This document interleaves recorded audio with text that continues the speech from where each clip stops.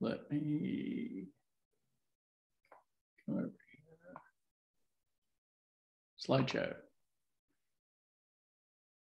Okay, so uh, again, thank you all for being here. Um, I'm gonna kind of go through this in a couple sections. And please, anytime along the way, uh, if you wanna ask questions, uh, go for it. And I think there's gonna be plenty of time uh, at the end as well. But like I said, I'm happy to answer questions all along the way. Uh, I want to start by kind of talking about what the motivation of this was and kind of why and how this mission started. Uh, then I'm going to go into uh, discussing this new infrastructure we refer to as an edge cloud. Uh, I'm going to take you through that. I think some of you have obviously a uh, technology IT background. Uh, and we won't go very deep, but I think I'll help you understand the overall architecture, uh, which is in support of developing a new class of applications we call edge cloud applications. Uh, to not make it too abstract, I'm going to take you through three examples, different types of applications. One that is, uh, in essence, a production application could be used in the clinical setting, a application which uh, could be used by clinical engineering, uh, supply chain, et cetera, in production. And then, and some of you earlier today heard the example, which is a, a Stanford research project referred to as EchoNet PEDS. And I'm going to talk you through that as well as a pioneering new way of developing um, AI in healthcare applications. So, um, with that, uh, I kind of did my introduction. Uh, you know, I've had this uh, life of being on the one side in the academic world and on the other side in the commercial world. I actually wrote this book called The End of Software that kind of predicted the rise of companies like Salesforce and NetSuite, et cetera. And as I said, the, this class became the reason how I met Anthony. And because of Anthony, I started learning things that you guys know, but I was completely surprised by. Um, so this actually is a story that happened just last year. Little kid went undiagnosed with brain cancer because people are still using CD-ROMs to pass data around. Although I hear some people are starting to use USB sticks. So living in the technology world, I'm like, you got to be kidding me, right? So that's kind of we'll call it simple technology. Uh, all the way to, and many of you on this call have been working in the world of AI uh, AI, which is you know starting to transform our consumer lives, uh, particularly in the imaging area, is uh, you know has much promise in the world of medicine. But I think this is just screenshots of presentations that were was done at Texas Children's um, last or two years ago. It's kind of a litany of the same thing. Uh, we don't have enough data. We don't have enough data. And as you all know who are in this area, you can't build these neural net algorithms without access to plenty of data. As a result, and you might guess I'm connected to the Stanford AI and Medicine program. This is a conference they ran. Um, many of the algorithms that have been developed in general are fairly brittle because they have only been trained on very small data sets. So as a person coming from the world of computing, I kind of said, well, this is really a challenge for the infrastructure. We don't seem to have the infrastructure in place to crack through the very simple problems of sharing data, as well as the challenges that clearly are part of the whole world of AI in medicine. Um, some of you may be aware of this report that just got issued fairly recently by the EU. They make only one technical recommendation, which is you need to enable, as you say, access uh, to healthcare data. Now, when I look at this problem, I think, you know, the healthcare data, where is it? It's not, I know this can be a somewhat controversial, it's not in the EMR. I look at the EMR and think it's just a giant billing system, is all it is. There, the data is not really there, right? Um, just trivial example the uh, Echo Lab at Stanford pushes out 50 gig per day. you know, that's not going into EMRs. There's a ton of digital exhaust out there. The data is coming out of the machines. And we said, oh, there's probably, probably a million healthcare machines out there. Why do I say that in pediatric medicine? Uh, we did a back of the envelope with Children's of Orange County, who has, I'll say, between two and 4,000 uh, healthcare machines. Uh, Packard has 10,000. I'm sure you guys are on the high end of this. But if we were to use an average number, we used an average number of 2,000 healthcare machines. What do I mean by that? Uh, ultrasounds, uh, uh, drug infusion pumps, blood analyzers, gene sequencers, et cetera. Uh, and there are about 500 children's hospitals in the world. So hence the number a million, right?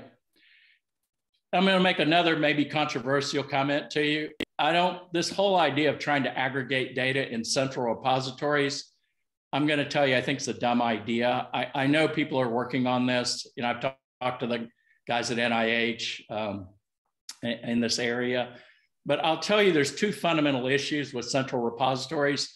Number one is a technical challenge, and this is born of years of experience in enterprise software as soon as you gather data, you're implicitly thinking about an application of that data. As soon as you do that, you organize a schema. As soon as you organize a schema, you in effect lock out the second application. And I'll say from the world of enterprise software, we've seen this happen over and over again. Number two problem of this is it flies in the face of fundamental issues of privacy management. One of our core team members, actually a former student with 14 years of experience in privacy, and we very much architected this thing around security and privacy. I'll tell you that there are two fundamental principles in privacy. Number one is purpose limitation. Number two is storage minimization. When you say I'm going to gather a whole bunch of data, you go, well, what are you going to use it for? Well, if you don't have an answer to that, that's not purpose limitation, and it certainly is not storage minimization. So we took a step back and said, we need a new infrastructure. You're not going to build the future of healthcare on top of EMR systems. So you're going to have to have an infrastructure that standardizes the data from all the healthcare machines globally, number one.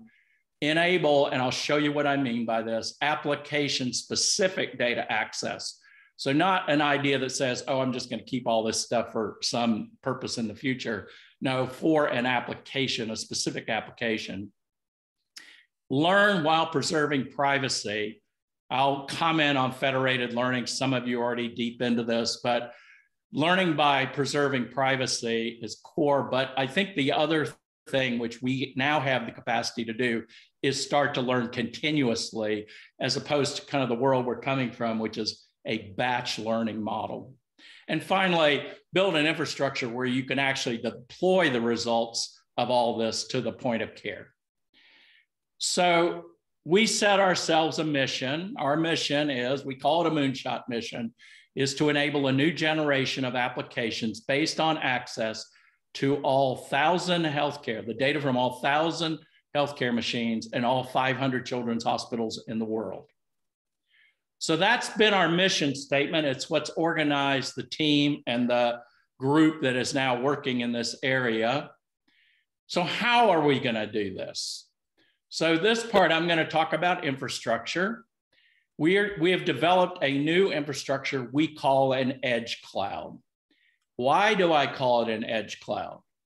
Well, if you took my, my class on the very first day, my cloud computing class, I go, well, what is Amazon's AWS, Google's cloud, Microsoft's Azure.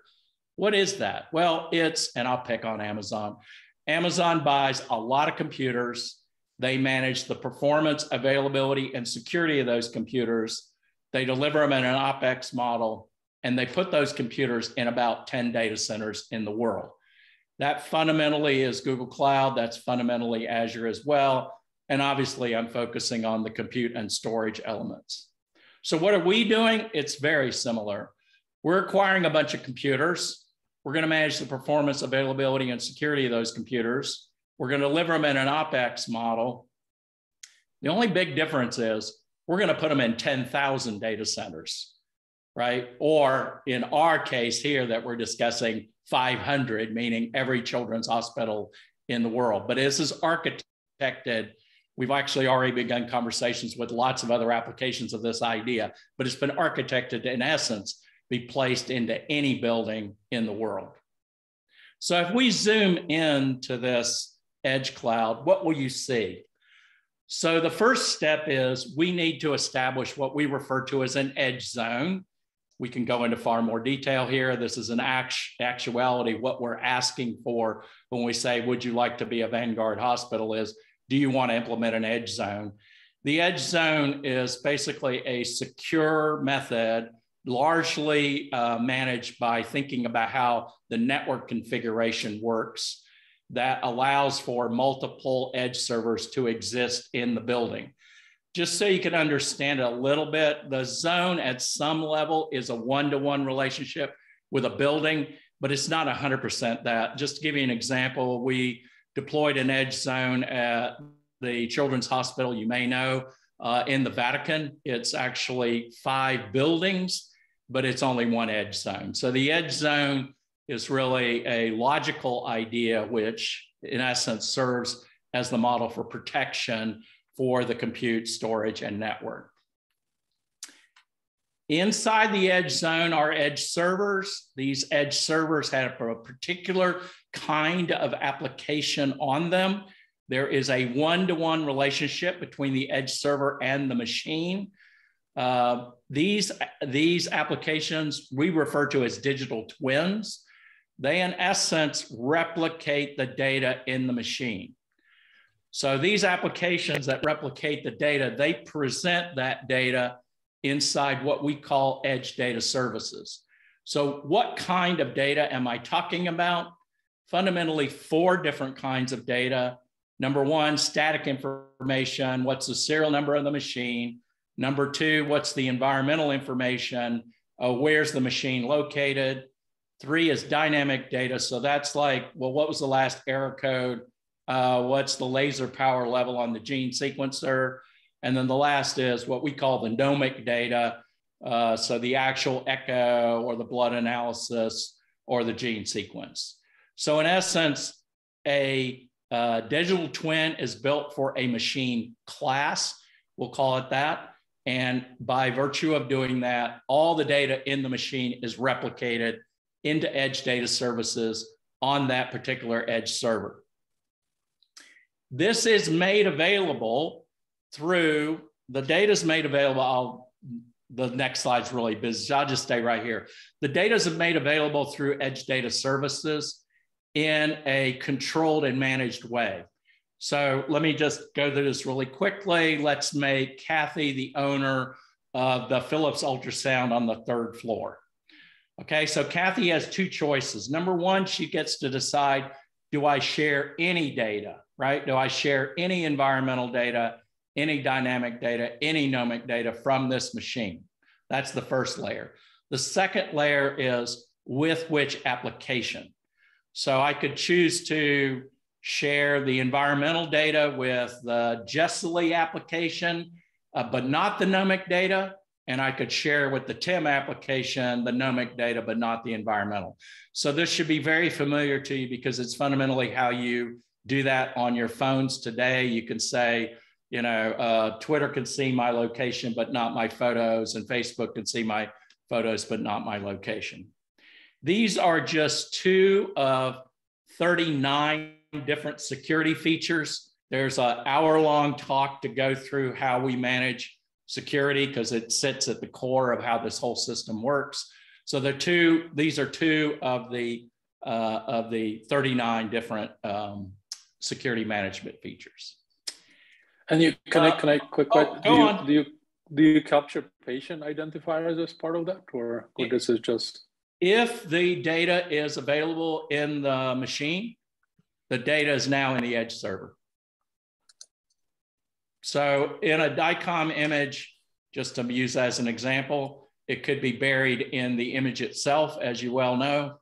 It could be buried in the DICOM headers, in the metadata, et cetera. So If the machine, if the if the ultrasound has the data, we have the data.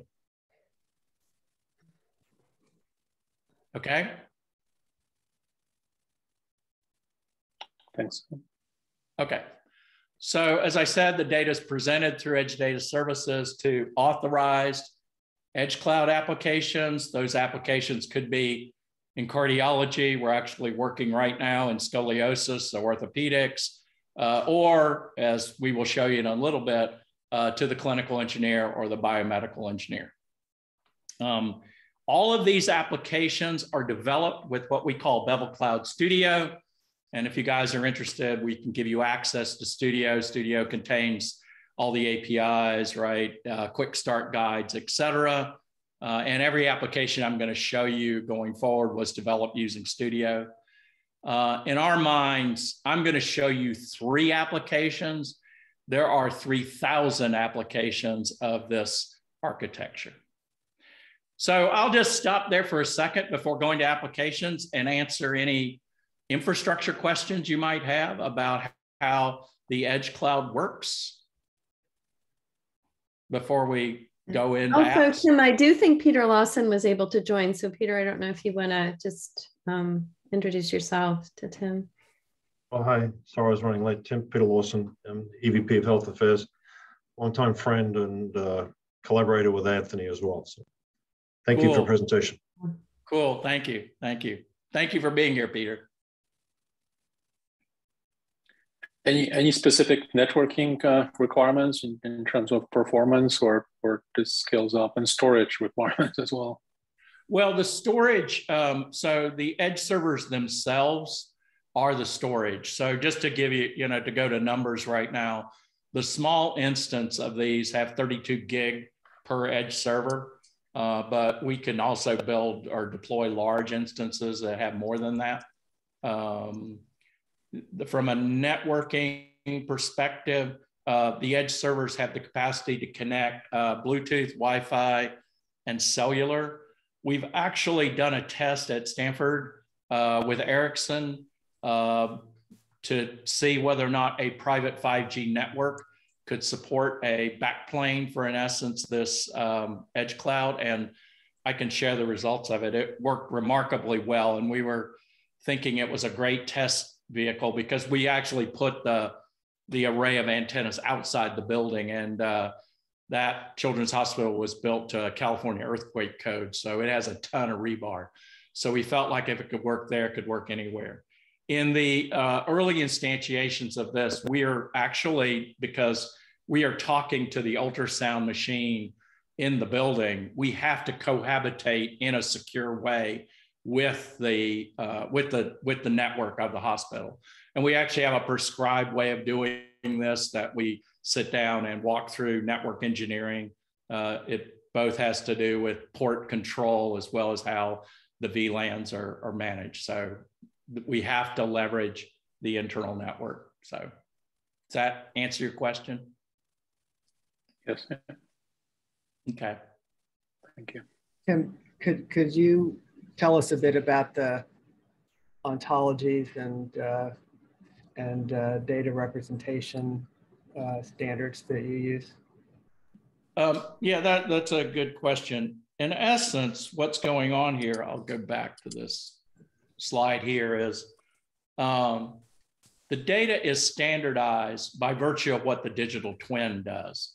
So the digital twin's job is to standardize that data so that, in essence, and we'll use the example of a Philips ultrasound, once that digital twin is built, then I don't care where that Philips ultrasound exists, whether it's in Kenya or in the UK or in Boston, the data presented to Edge Data Services is identical.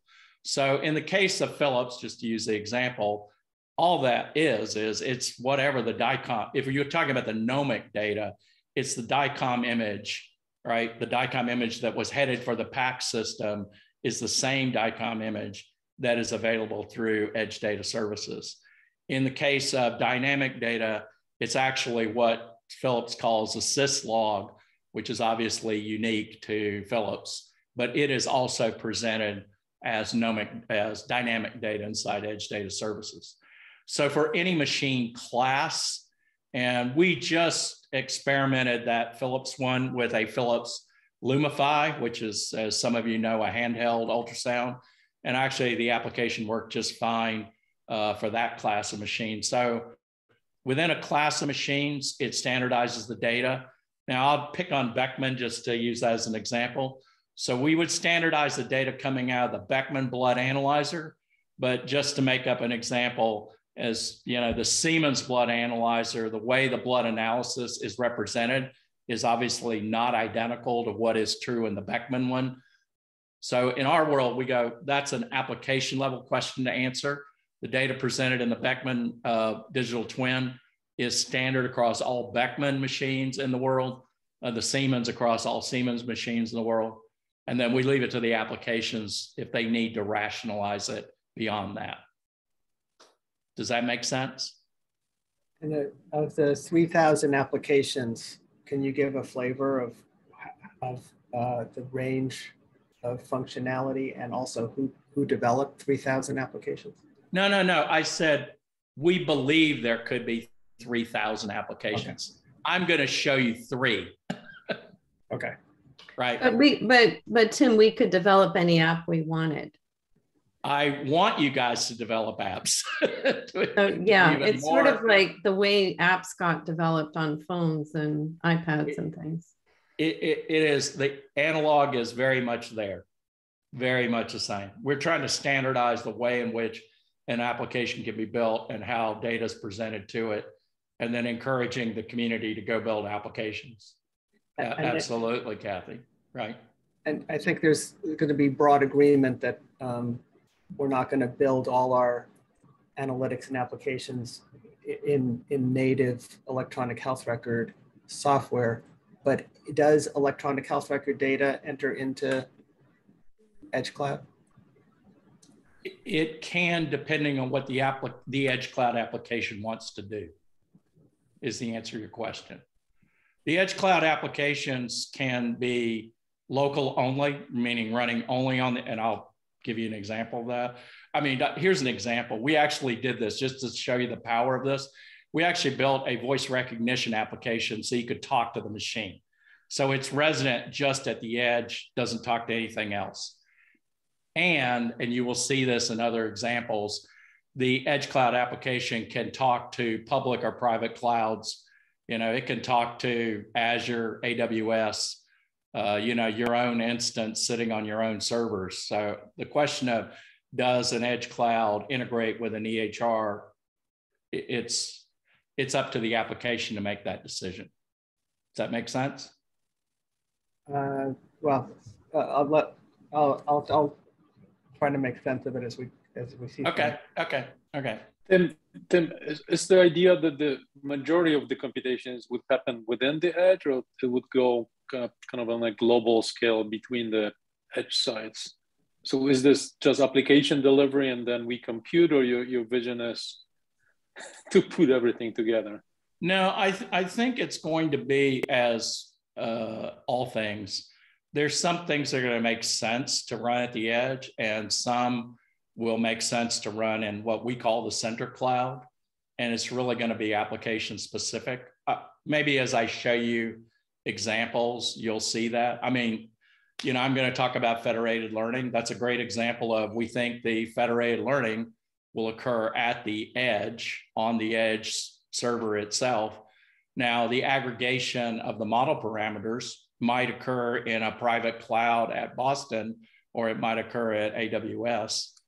Uh, we also, although this gets really kind of interesting, we also have the capability to do what we call inter and intra-zone communications, but we're now getting a little bit sophisticated. So I think that the answer of what runs locally and one, what runs uh, in the center cloud is going to be application specific. But Tim, um, so to, to summarize, right? So you're giving us, Bevel Cloud allows us the infrastructure to create these digital twins from this edge devices or technology, ultrasound machines, whatever, blood labs. And then the data resides within our zone and the what you've discussed so far is setting up a bevel cloud zone on which applications, which you'll show us, can yeah. be built and deployed yeah. on the edge. It, yeah. Is that where we are? Yeah, let me just a little nuance. So today we are building the digital twins. We we are we are thinking through how it is we let other people build them.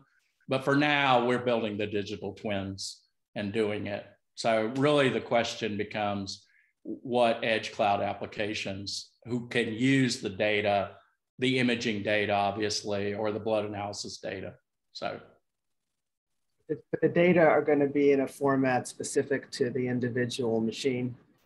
To the machine. So, yeah. so if so, we would be able to do federated learning, for example, with other hospitals that are using the exact same machine. Yeah, same, exactly. Same model, yes. same yes. year, right? Yes. Okay, well, so, uh, I think Ken to say it the same machine class is probably the right way to say it. So depending on the yes. variability though between the yeah in the data yeah. models, right? Yeah. Or or some of that would get worked out to bring it together at the application stage. You would build an application that would allow you to look at both data sets, even if there was some slight difference, is how I understand. Yes, it. that's that's also doable in this because right the edge cloud applications can transmit data with permissions. I mean, this gets in the networking side, but with permissions to anywhere. So, but the applications can be vendor neutral, like the absolutely applications are, and so we. Yeah. I mean, that's what gets into the application phase. You're doing the infrastructure that allows it the deployment of these applications Yes. At the edge yes. to do the federated learning that you'll discuss. Yes. yes. Okay. So let me do this because we've been talking about applications. Let me give you uh, three examples of Edge Cloud applications. Uh, I'm going to talk you through a uh, clinical production application by a company called Teleray, a clinical engineering application that can be used in production by a company called Oomnitza, and then I'm going to talk about the EchoNet PEDS project, which I classify as a clinical research application. And some of you heard more detail about that this morning. So uh, I'm going to start with Teleray. So Teleray, amusingly enough, is a company that was founded by the guys that built the software to burn CD-ROMs. so they, they have moved into the future to enable image exchange to occur using computers and not CD-ROMs. So fundamentally, a Teleray edge application can be deployed within the edge zone, connected to any imaging machines. And now you can do image exchange across all the zones, whether, well, I, I wrote within a zone, so you may want to do it within a zone. You can do it obviously across zones uh, with any imaging machine. So this is image exchange, long-term image archival, the ability to view applications from multiple, uh, view images from multiple devices. It's the Teleray application. So Teleray, just do this even more detailed. The Teleray Edge Cloud application, if given permissions, again, can access the data at the edge. It will then take the last image coming off that MRI scanner and transmit it to the Teleray uh, Center Cloud application, which actually is running at Azure. Okay, so very simple, what I think of as collaborative type of application uh, is available. We actually have been in testing with Teleray uh, as we speak. Um, let me give you another example, which is not uh, clinical, but over in the world of uh, supply chain, clinical engineering, production IT. Um, this is a company called uh. Uh, they have been tackling the problem of helping the CIO manage IT things, endpoints, cell phones, uh, laptops, et cetera, applications, cloud based applications, infrastructure, as well as networking and managing the complete life cycle of doing that from purchasing all the way to end of life. Um, this is an application designed to go do that. They actually have customers that you know you guys have heard of, like Peloton, Carvana, Apple, etc. I've known the founders for a lot of years, and we said, well, it's interesting. As soon as we are connected to the healthcare machine, we can now provide a lot of this type of capability to the healthcare infrastructure. Uh, remember, I said we not only get the gnomic data, but we also get the last error logs, the location of it, what's the serial number of the machine by virtue of the Oomnitza Edge Cloud application running. So you can now apply the same techniques that you could apply to your IT infrastructure, to your healthcare uh, machine infrastructure. So just give you a couple examples of what you might do with it. So security, as we all know, is a big deal. Well, actually, because of the data that we have here, we can actually tell you, oh, what was the last security patch that was available for that class of machine, because we're totally connected to it and connected to, to the information. Um, we can optimize and I say, I think completely change how customer service works in the connected world. So not only can we have, we can see right the last error log that got thrown by the Philips machine, but actually de-identified the last image. And because of the nature of the application, you could actually share this with the Philips engineer or whatever. So you could do debugging of problems much, much faster in the connected state using this kind of application. And the last is because we have the data, I mean, we, we know where the machines are, which is kind of an interesting thing to think about, but we also know how much they've been utilized. So for people that are sitting down going, well, what is the utilization of these machines? Do we need more machines? Do we need fewer machines? There's an entire workflow engine that is running that could help in managing the, uh, the financial aspects of owning these, uh, I'll say, millions of dollars worth of assets. So that's just to give you another flavor of the kind of applications that are possible. And then finally, let's use the clinical research example, EchoNet PEDS. This is a project we started up with my friends at Stanford. Uh, we talked about this earlier. You know, it's hard to get data, hard to get data. And I said, you know, we really don't think trying to go build central repository is the right answer. So instead, EchoNet PEDS and others, we're actually doing this in orthopedics as well. We're pushing an entirely new way to develop, deploy, test, and improve AI in healthcare applications. And it's really a three step process. Number one is let's start because you can start with centrally trained algorithms that are likely trained on very small data sets. I will use scoliosis because we've been deep in the middle of it.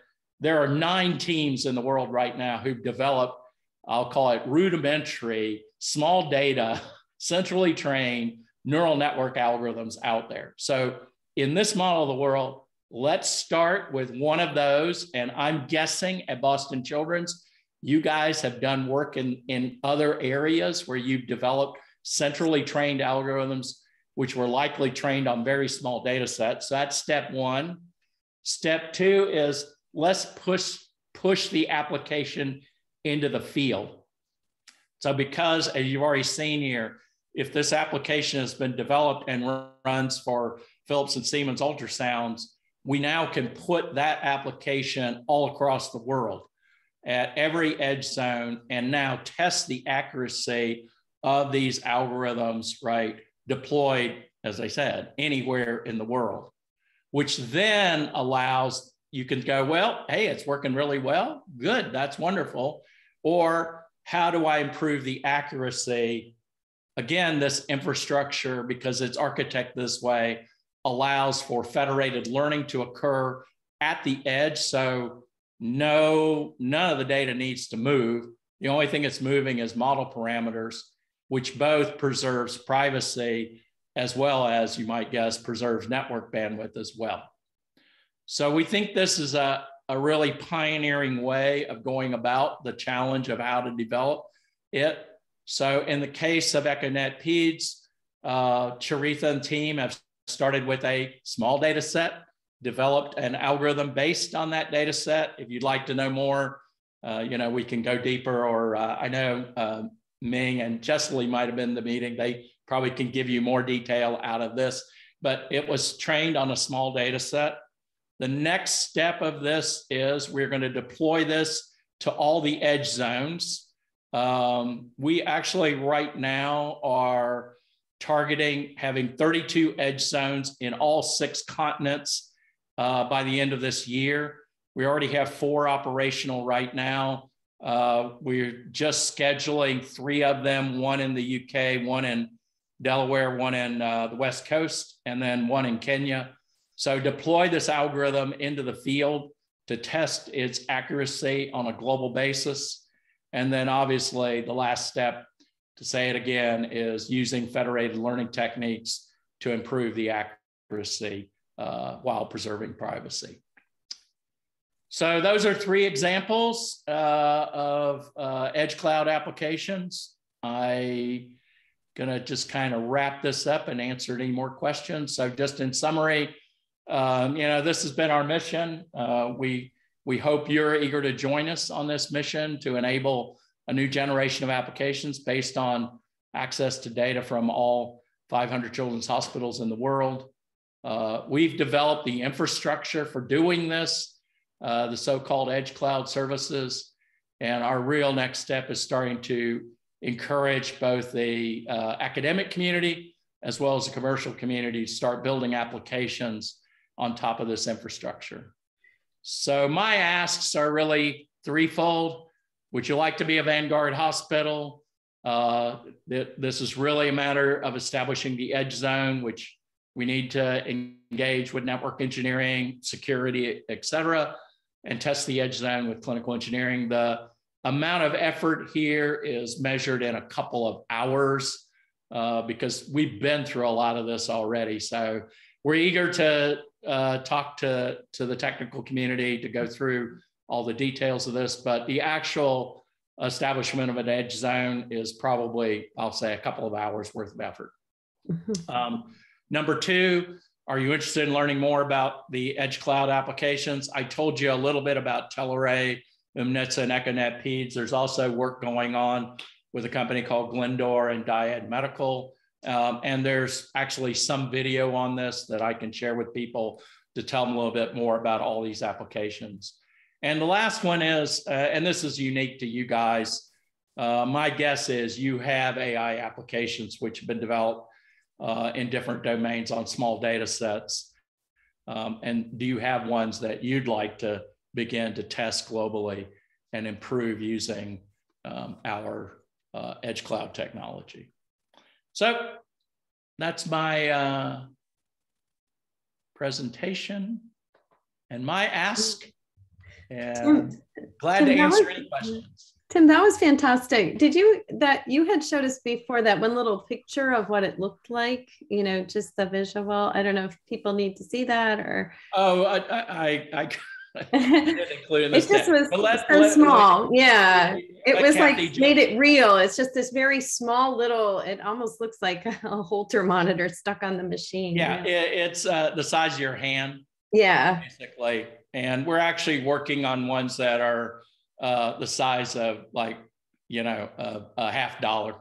so yeah, you could back, you, those of you in tech know this, but you could pack a lot of technology into very small spaces. The small instance we have running right now is running a four core 1.8 gigahertz microprocessor with uh, four gig of RAM and 32 gig of, of storage. So, and that's the small instance. So they're, they're very, we use the word server and I know people think that means the big 19 inch rack mount stuff, but it, it isn't.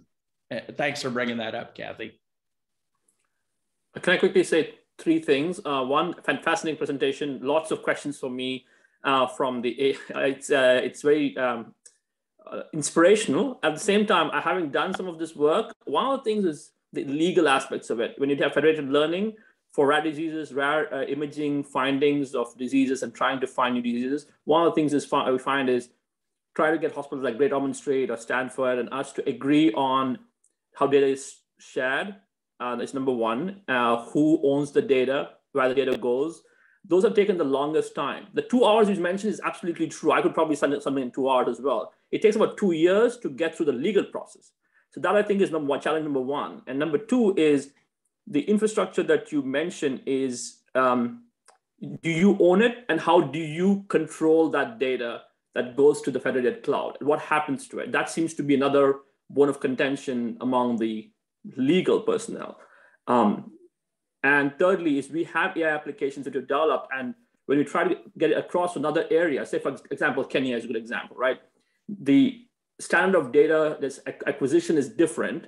So it obviously needs a more refinement to deploy in different areas. So utopian scenario is yet deployed to another place, it works fine, but it might need some kind of refinement. Who does that and how do you help with it? Okay, boy, that was a lot of different questions. Let me let me start at the top. Uh, so you because you mentioned legal. So uh, and, let's just use EchoNet PEDS as an example of this, um, or and I can use Teleray as another example. So um, the the first statement is you, and we'll make it about Boston. Boston has to choose to allow the EchoNet PEDS application to run on the edge server connected to the ultrasound on the third floor. So that has, you have to say yes or no to that, right? Okay, so if you say yes, I'm willing to share, then the data is shared locally on the third floor with the EchoNet PEDS application. Now, the next question you would want to ask is, well, what's the EchoNet PEDS application going to do with that data, right? So uh, the answer in the generation one is it's going to analyze the data and present you an ejection fraction result. Okay. That's all it's going to do. Is that okay with, is, is that okay? Right. Becomes, and, and that's an application question. Right. Okay. And then the next step, which is, okay, we want to do federated learning. EchoNet PEDS wants to do federated learning. Dyad Medical wants to do federated learning. Well, you would ask them to go, well, what are you going to do with the data? And the answer generically will be, oh, we are going to take model parameters and transmit it to Azure or transmit it to a private cloud at, you know, uh, Mayo Clinic or whatever, right? And to your point, the legal folks are going to have to be okay with that. Security is going to answer ask the questions well i don't really trust mayo clinic. Okay right? But again that's an application question that you have to answer. Now what we obviously are trying to do is make it secure and private relative to the data coming off of we'll call it any machine in the world any any ultrasound any mri any blood analyzer the next question of what are you going to do with that data becomes an application question. Does that make sense? Okay. So now clearly what we are attempting to do here is because, and you know, because you're talking about AI, because AI is always stymied by this, oh, you're going to aggregate all the data somewhere. That's why federated, we don't have to implement federated. The application could take the data and put it in AWS if everybody wanted to do that. That's clearly possible. But given the state of the art, which we're, you may guess, we spend a lot of time talking to Google and Facebook guys. So there's a lot of there's a lot of R&D work that's gone into how can I do learning locally. We feel like by enabling that, then I can do learning for rheumatic fever in Kenya in, on site without having to worry about both privacy as well as we all know. I mean, if I have to go spend all the money on the network side to transmit data, uh, and that that could be prohibitive in some situations. So we think that Federate is going to give a whole huge leg up because to answer your question about who owns the data, I mean, you, you own the data relative to what do you want to do with it in an application. We're, we're trying to remember I made the point application specific data sharing. So when you share the data on the third floor uh, uh, Boston Children's with the EchoNet PEDS application, yeah, it's you know coming from Boston Children, but it's not like you're going, well, I'm sharing it for any purpose, right? It, it is for that purpose, for that application, for that machine. So we think this is a much finer grained approach as opposed to the kind of uh, where we're all going to put it somewhere and you know do good things with it. I think I, I was talking with Clarissa about EchoNet PEDS. And so in that example, we decide, let's say we decide to be a bevel zone. We get the twin of our, you know, from the data from our echo machine. We get to still decide whether we want to run EchoNet PEDS on it, their algorithm, which they're about to deploy, but you know, their point is to deploy it on the edge.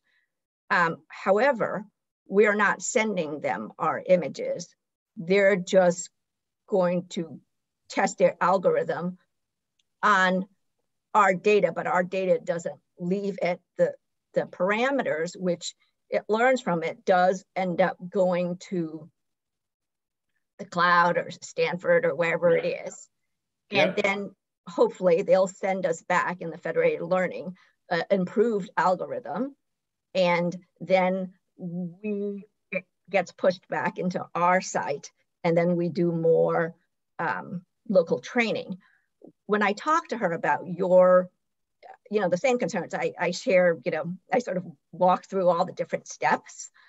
Um, i think we still have access to our own data. And i agree it's always a heavy lift if we have to start sharing data in the standard way with another center and the legal aspects of it, there are still probably legal aspects, but this seems to lower that barrier because we're not really sharing their images and we're not really sharing, we're just sort of sharing coded image parameters that you um, send up. Um, and then as a research application, you can decide like a collaborative, a multi-center trial if you wanna work with somebody or not. And we can decide how much we want to be part of their research and what sort of academic currency, you know, for us participating in their algorithm. But I think the power is if we had any algorithms, we could use this infrastructure to deploy to other centers, and probably we have more algorithms, I hope. Um, Amen. And then we could test it, and Bevel Cloud just, as I understand, Tim, is that right? just allows the infrastructure for us to do some of the federated learning, but we decide who we want to learn with, what we want to release, who we want to work with, and everything else. Is that is that right? Yeah. Well, let's what just we want on it. Yeah, well, let's reverse it. Let's call it the Ming application developed at Boston Children's. so the, the we can make the Ming application available in this model of the world to all 500 children's hospitals. Now they can say, "Oh, yes, I want to participate in this," or "No," and "Oh, I only want these two ultrasound machines to participate." I mean, it's that fine grain, right? So we only have a couple minutes left. So we're talking mostly about research applications. I just want to leave it open for uh, some of the other applications. Um, I think people are really understanding what you're saying, Tim, um, which is you're setting up a fundamental infrastructure. Obviously, the utilization will depend on apps that get built. We think there could be many. Um, for apps that already exist, there's some process there, you know, in order to to choose to participate with these companies that developed them. Mm-hmm. Um, you know, and so um, yeah, it's really pretty exciting in terms of any data sharing or research. If we need IRB approval or human subjects protection, we need it. if we don't, we don't. and it's not any different than it is now. Um, do, does anyone else want to ask um, other questions? So kind of a Tim from the business model perspective from your end, are you, are you more interested in, in, in basically selling the infrastructure and globally uh, putting it in place or, or the data, accessing the data and, and doing aggregation from your, your end? No, so we, we're not trying to monetize data. Just say it straight off. We're not, it's your data. I'm, I'm not trying to do anything with it the, other than make it so that people could build stuff. Our business model is identical to AWS fundamentally. We are compute, storage, networking, and, and services. If you want to think about it, it's roughly the pricing of a reserved instance in AWS world. So it's it is infrastructure pricing. That's it. so you sell us, so you sell us, and we could, you know, potentially go like domain by domain, and we just want to start with cardiology data, or or, or you kind of more It's- globally populated. It, it, it- it's really to think about it, it's it's machine by machine. It's a machine by machine. So you can Yeah. start with a single machine, buy it, and then play with it. Well, in fact, Actually, what, yeah. yeah, in in deploying the edge zone, we do a test. We ask people to pick an ultrasound because we Mhm. actually test the whole flow off of a single ultrasound. So yeah, it can be one machine. And Is Tim, there- right now to be the Vanguard Center, um, there's still some of this that we can, we can do for free, right? Yeah, we said we would deploy the edge zone uh, and get it up and show you all no charge for the Vanguard hospitals. On one So we've limited this to about eight hospitals. So just FYI. So And you have how many now? Sorry. we're Seven. we're very close to the number. But, Sign but, today. but for example, Chalk yeah, is going. today. Yeah, yeah. So Tim, is there Yeah. someone, is there someone we could talk to at CHOP about how they're using it? Mm. Uh, no, I, I mean, at where? CHOP. Uh, you you want to talk to Anthony? Mm. CHOP. No, no, Oh, sorry. no, not Chalk, Chop, Children's Hospital of I, I didn't Hospital, say I didn't say chop. Oh, Oh, It was on your I'm slide. very deliberate. You may not have noticed this, but I deliberately do not actually tell you what hospitals. I Mm. told you things I- I- like geography. I thought I I said saw it. it on your slide. It- it- it- yeah, that's just showing you there's a lot of children's hospitals in the world. I Okay, think it was actually chalk, but chalk was on it Yeah, as well. chalk. CHOP we- is on your slide. That- That's why I thought it was, that's Yeah. why I CHOP, thought we- CHOP was one of your customers. I customers. thought, I thought they were too, Ken, so I, there must be some sensitivity of what, what, you know, people in the network. we don't we don't say where we're deployed. I told you uh, that we are in Rome, we are in Philadelphia, we are in Northern California, and we're in Southern California. so, Got it. And we're about to be in another location in the West Coast. So, but really, what it is is it's really talking you through what we're. I mean, we're getting ready to do another edge zone deployment, which we're glad to talk it through with you. Or if you want to talk to any of the people who've deployed an edge zone, we could have that conversation. But it's really, frankly, an IT conversation, which is we're, we're glad to have. Because it goes back to the central question, which is what are you going to do with it, right? And obviously, because we did the meeting this morning, the invitation is out to be part of the EchoNet PEDS project, right? So